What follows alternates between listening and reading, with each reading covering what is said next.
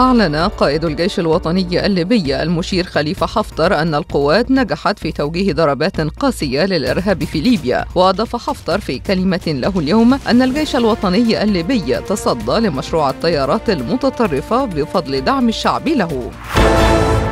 أعلن المبعوث الأمريكي الخاص لليمن تيم ليندركينج أن الولايات المتحدة خصصت 165 مليون دولار مساعدات إنسانية جديدة لليمن وستقدم المساعدات عن طريق الوكالة الأمريكية للتنمية الدولية.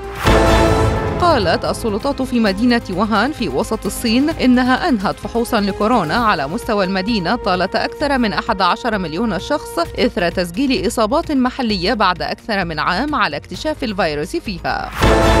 أكد رئيس الوزراء مصطفى مدبولي الأهمية الكبرى التي توليها الدولة لملف التوسع في إقامة المجمعات الصناعية على مستوى الجمهورية، مشيرا إلى أن الرئيس عبد الفتاح السيسي رئيس الجمهورية كلف بإدراج هذا الملف ضمن أولويات عمل الحكومة، وأشار مدبولي خلال اجتماع مع وزراء المالية والتنمية المحلية والتجارة والصناعة إلى أنه تم الاتفاق على تخصيص 317 موقعا لإنشاء مجمعات صناعية ضمن المبادرة المبادرة الرئاسية حياة كريمة.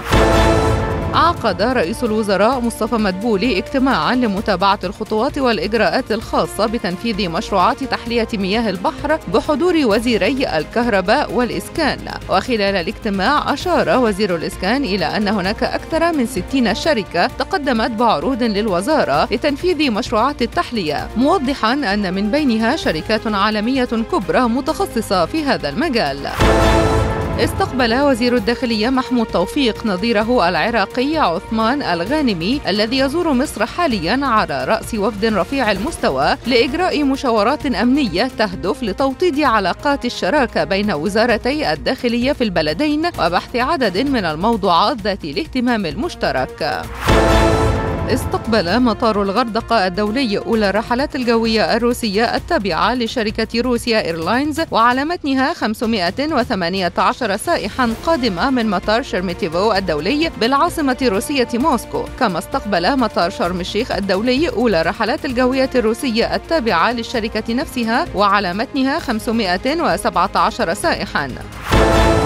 عقد وزير التعليم طارق شوقي والصحة هالة زايد اجتماعا لبحث سبل التعاون لتوفير الوجبات الغذائية الصحية لطلاب المدارس. وفقا لتوجيهات الرئيس عبد الفتاح السيسي. وأكد شوقي أن برنامج التغذية المدرسية سيغطي جميع الطلاب بدءا من مرحلة رياض الأطفال مشيرا إلى حرص الوزارة على الحفاظ على صحة وسلامة الطلاب. ومن جانبها شددت وزيرة الصحة على توفير أنماط مختلفة من الوجبات المدرسية وفقا للمحددات الصحية الصحية للطلاب للوقاية من أمراض سوء التغذية.